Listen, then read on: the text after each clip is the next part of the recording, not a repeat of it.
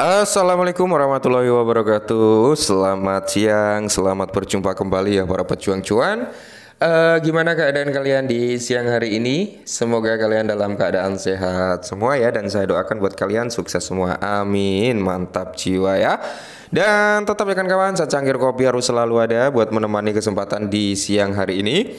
Di mana kalau kita lihat bersama-sama teman-teman ya untuk perkembangan daripada sektor kripto kali ini teman-teman seperti dari market cap, fair and greed index gitu teman-teman ya.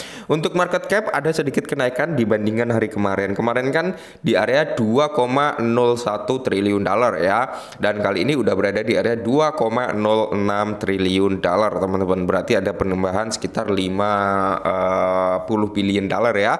Sedangkan kalau kita mengacu pada pergerakan Fair and Greed Index dia di area 37 teman-teman masih dalam kondisi ketakutan nih pemain kripto ya karena memang habis dibanting cukup dalam dari pemerintah Jerman yang udah mulai merilis menjual walaupun Justin Sun menawarkan dirinya untuk membeli Bitcoin tersebut di luar exchange untuk menjaga uh, stabilitas harga ya.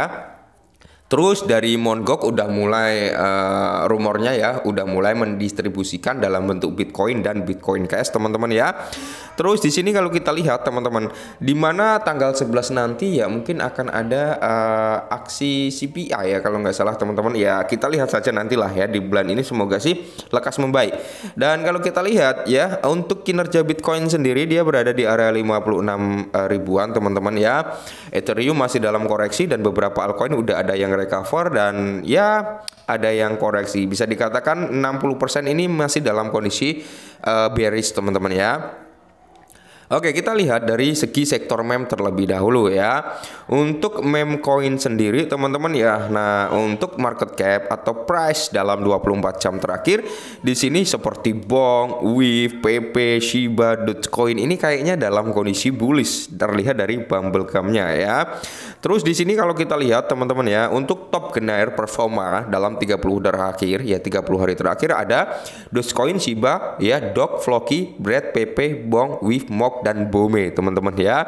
Meskipun kalau kita lihat dalam tanda kutip uh, untuk uh, market cap atau volume di sini masih dalam kondisi bearish. Nah, Sedangkan kalau kita mengacu price, kita ada sedikit informasi tentang PP ya.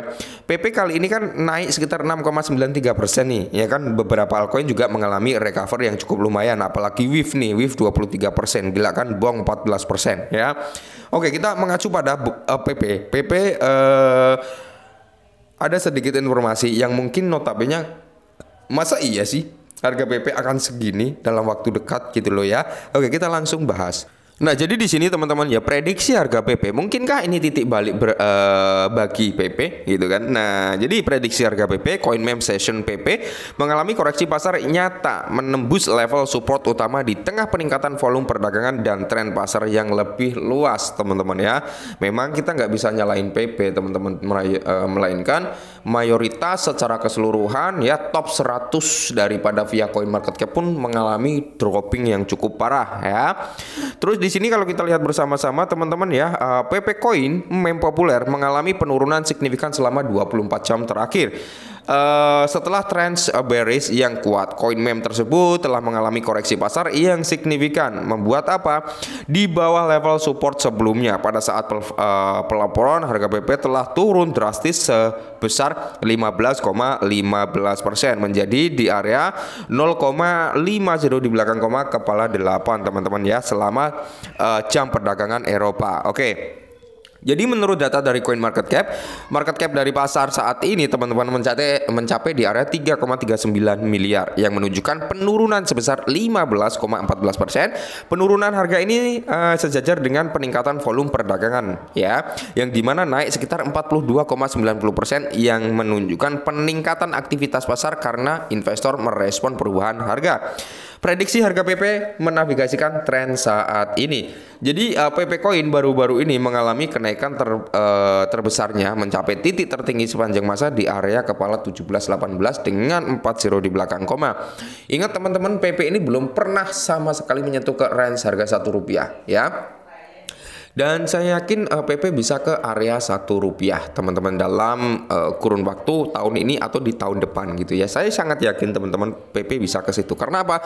Uh, kita mengacu pada perkembangan Shiba Inu waktu di tahun 2021. Karena di situ apa? Banyak orang yang jadi gembel ya ketika masuk di Shiba Inu di tahun itu teman-teman. Mungkin masuk dari tahun 2020 ya. Banyak orang yang menjadi gembel yang mereka masuk tiba-tiba tambah zero tambah zero ya.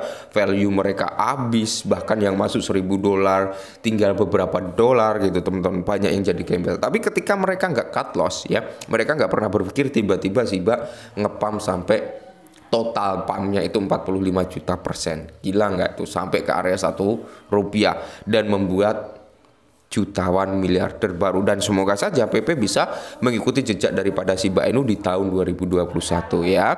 Seperti itu. Di sini namun harga PP telah anjlok lebih dari 53% sejak puncak tersebut diluncurkan pada bulan April 2023. Mata uang kripto ini telah mengalami kenaikan tajam yang diikuti oleh penurunan cepat yang menyebabkan apa? Berbagai fase konsolidasi. Oke.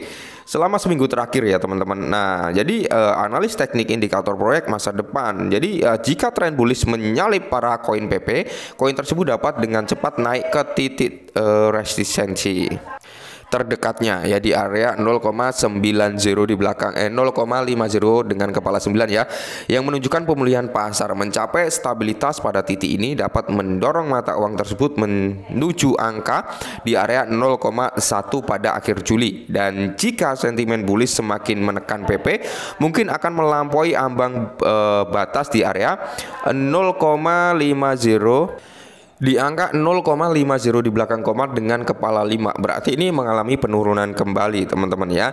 Di sisi lain negatif tren negatif yang terus uh, berlanjut dapat mendorongnya turun ke level support di area 0,8 uh, 0,50 dengan uh, di belakang koma ya dengan kepala 8 hal ini dapat semakin membah uh, membahayakan posisinya berpotensi turun sampai di area kepala 7 dengan koreksi pasar saat ini harga PP dapat mencapai di area uh, eh, 0,50 di belakang koma dengan kepala 5 jika tekanan dari para penjual meningkat. Yang menunjukkan apa? Pasar sedang oversold. Uh, ini dari indikator teknis harian untuk PP pairing USDT teman-teman ya. Semoga saja ya teman-teman ya kita bisa memanfaatkan penurunan ini. Bukannya kita takut tapi kita memanfaatkan. Jadi gini teman-teman ya. Eh, secara logika PP ini masih menjadi primadona dari beberapa wealth ya. Masih menjadi aset primadona ya. Masih menjadi aset kesenangan mereka karena uh, kalau kita lihat akhir-akhir ini memang banyak dari wealth yang melakukan penyerokan ya dengan jumlah yang cukup besar teman-teman di kala trennya penurunan. Nah jadi konsepnya kita masuk itu ketika orang lain pada takut untuk masuk ya. Dan kita keluar ketika orang lain berbondong-bondong keluar. Tapi dengan catatan kalian harus disclaimer terlebih dahulu dan dan ketika kalian masuk ya harus menggunakan dana dingin. Jangan sampai uh, menggunakan dana panas ya, dana yang dalam waktu dekat akan digunakan. Jangan sampai teman-teman ya. Dan saya masih yakin PP ini di tahun ini ya kalau nggak di tahun ini di tahun 2025 pasti akan menyentuh all time high barunya kembali teman-teman ya. Oke mungkin ini dulu semoga bermanfaat dan salam cuan.